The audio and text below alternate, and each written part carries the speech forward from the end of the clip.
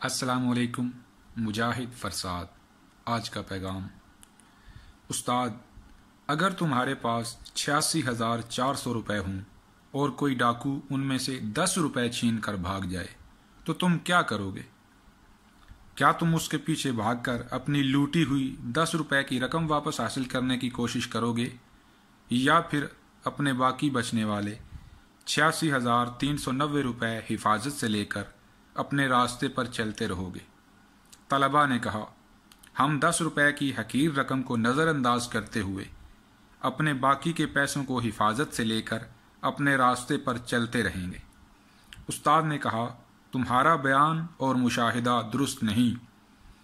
मैंने देखा है कि ज़्यादातर लोग उन दस रुपए को वापस लेने के चक्कर में डाकू का पीछा करते हैं और नतीजे के तौर पर अपने बाकी के बचे हुए छियासी हज़ार तीन सौ नब्बे रुपये से भी हाथ धो बैठते हैं। तलबा ने कहा कि ऐसा तो नहीं है।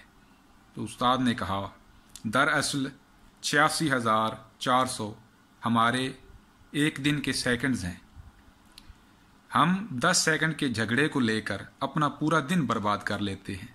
हमें चाहिए कि उस टेंशन को नज़रअंदाज करें मुआफ़ करना सीखें। लेक्चर का आगाज़ करते हैं जनरल नॉलेज से। मसारफ ज़क़़त का ज़िक्र किस सूरत में है? सूरत तौबा में। आयतल कुर्सी किस सूरत का हिस्सा है? सूरत अलबकरा का।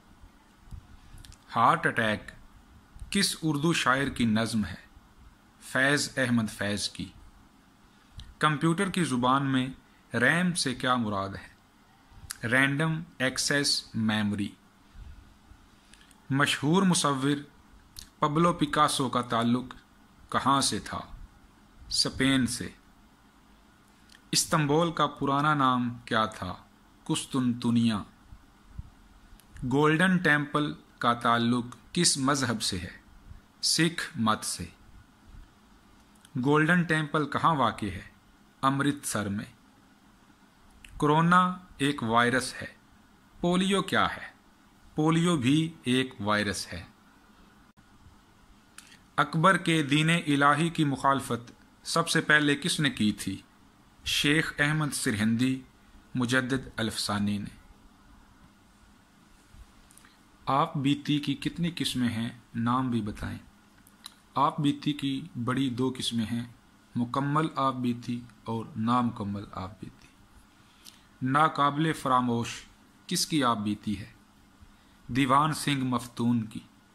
अदब के बजाय, किसके मौजूद वक्ती और हंगामी होते हैं? सहाफ़त के मौजूद मौलवी नजमुल गनी रामपुरी के नज़दीक, चाहे जमजम का कुआँ किसकी मिसाल है? ये इब्तज़ाल की मिसाल है। इसमें चाह भी आ गया और कुआँ भी, जिन दोनों का मतलब एक है, लिहाजा लफ्ज़ की तकरार हो गई। अब दिशते रूह में कौन सा कलमा पहली बार इस्तेमाल हुआ? रोमांटिक का लफ्ज़ पहली बार अब दिशते रूह में इस्तेमाल हुआ था। गालिब के दो मकातीब के मजमू किन उनवानात से शाया हुए?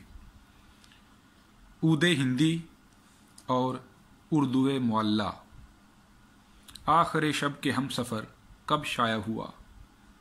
ये नावल उन्नीस सौ उनासी ईस्वी में शाया हुआ। बीसवीं सदी के अदबी अदवार कितने हैं? तीन अदवार हैं। गज़ल की निशात सानिया का इमाम कौन है? सैयद फजल हसन हसरत मुहानी। फैज़ एक जायज़ा के मुसनफ़ कौन है? इशफाक हुसैन। पंजाब में उर्दू किस नोयत की किताब है? तारफ़ कराइए। ये इंटरव्यू का अहम सवाल है। हाफिज़ महमूद शिरानी ने पंजाब में उर्दू 1928 ईस्वी में लिखी। इस किताब का इंतसाब सर शेख अब्दुल कादिर के नाम है। इस किताब में कुल 112 मजामी हैं।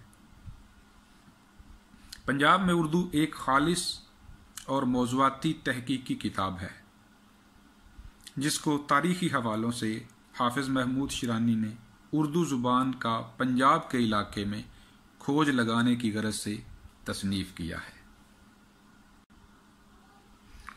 तहलील नफसी वो तरीक़ेकार है जो किसी फ़र्द के डैश से आगाही के लिए इस्तेमाल होता है।